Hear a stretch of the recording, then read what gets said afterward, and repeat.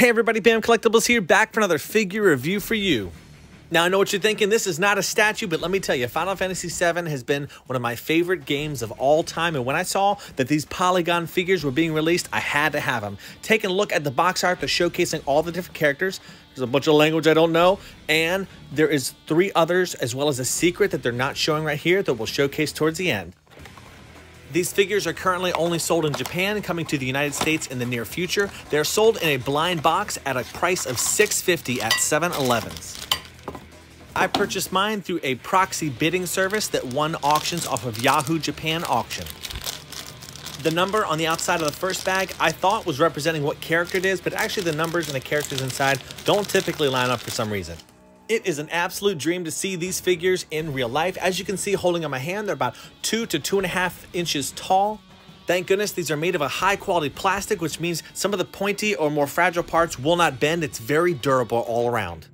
Why Square Enix took so long to create something like this to sell for the fans is beyond me. These, I imagine, are going to sell so quickly off the shelves and become valuable over time.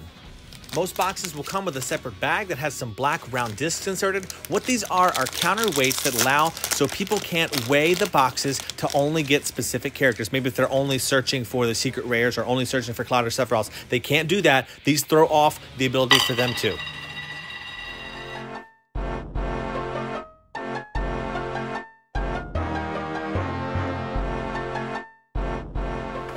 Chill out, Barret. They're going to subscribe to the channel if they want to. Don't be using that kind of suggestive language on my channel.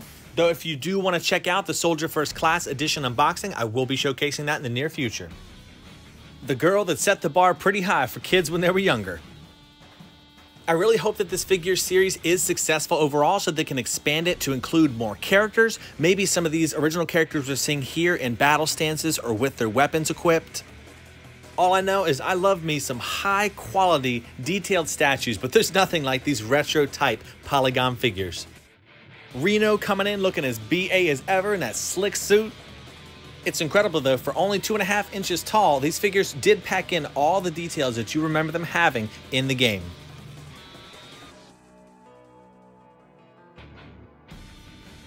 Incoming the Ancient masquerading as a flower girl, Unlike Reno and soon to see Sephiroth, she does have a smile. They don't have any kind of lips sculpted onto the figure at all. I will mention that the sturdiness of these figures are top notch. On the bottom of the feet, everything is nice, flat, and balanced so they stand. If you bump a table or accidentally knock into something, they don't tip over very easily. Red 13 is sculpted as perfectly as I imagine him to be, being that he's not a human, so it's probably not as easy to sculpt him or have them come out, but he's exactly as I wanted him to be.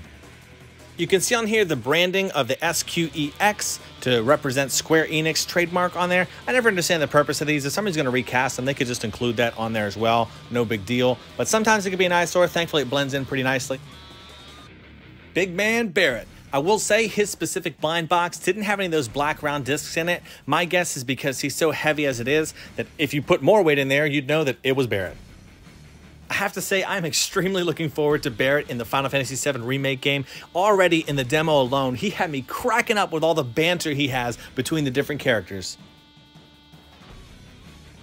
I will say it was very odd to have Sephiroth without his sword. I understand why Square Enix did not include it because they're going for more of a profile based figurine, but man, does he seem a little less menacing without that long sword. Please keep in mind when you do purchase these, when they release in the United States, they are truly blind boxes. You're not guaranteed to get a set of all seven or the eight secret if you do purchase a whole package. It was so freaking funny that the actual chase or secret figure was Cloud in his dress. I'm not sure of the percentages or how rare he is to get in a box, but I will say his cost alone was nearly as much as all the other seven figures.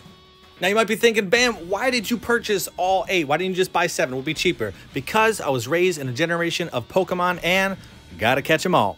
If you're looking to get all eight, my recommendation would be to buy a whole box, see what you get, and then fill in the blanks after by buying them separately.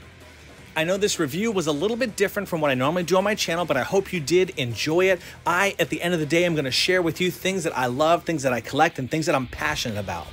On that note, take care. I'll see you in another video. And as always, do what you love and love what you do. Bam out.